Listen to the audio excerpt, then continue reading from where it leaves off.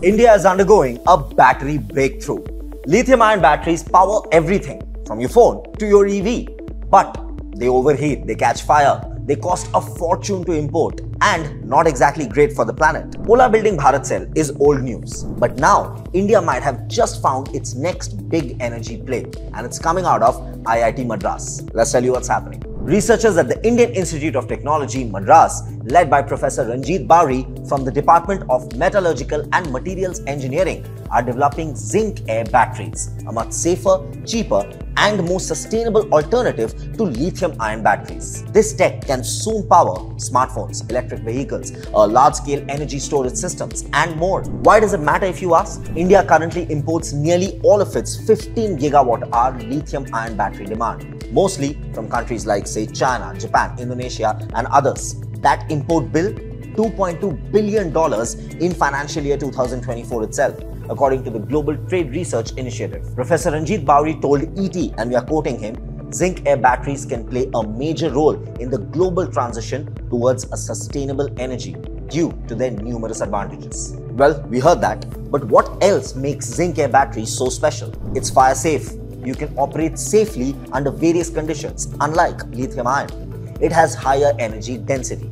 It means that they last longer than conventional batteries. It has low manufacturing cost. Zinc is abundant and cheap in India. And of course, a majorly important angle, the import independency.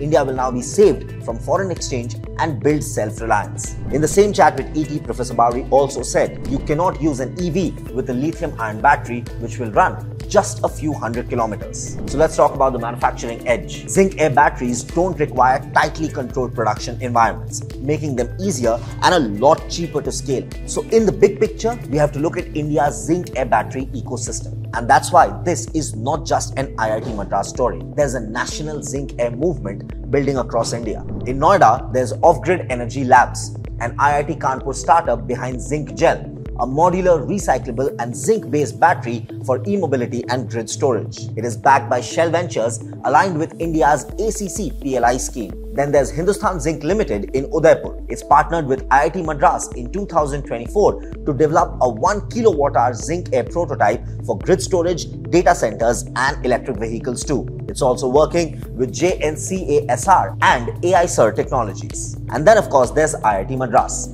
Under Professor Arvind K. Chandiran, it developed mechanically rechargeable zinc air cells and a battery swapping model for two and three wheelers as well. In Hyderabad, there's ARCI, demonstrated rechargeable 12V zinc air batteries, scaling prototypes with improved life and performance. It focused on smart grid, EVs, and portable electronics. Then comes CSIR and CMERI in Durgapur. It built cold climate zinc air cells that work in sub-zero temperatures, ideal for soldiers and remote villages as well. And then of course there's IISc in good old Namma Bangalore. It developed a dual function zinc air battery that co-generates hydrogen peroxide during power delivery for remote water purification and green chemistry. Together, all of these efforts are creating a made in India battery ecosystem. One that's safer, cheaper, and greener than the lithium ion counterpart. So the bottom line is that zinc air batteries aren't just a lab experiment anymore.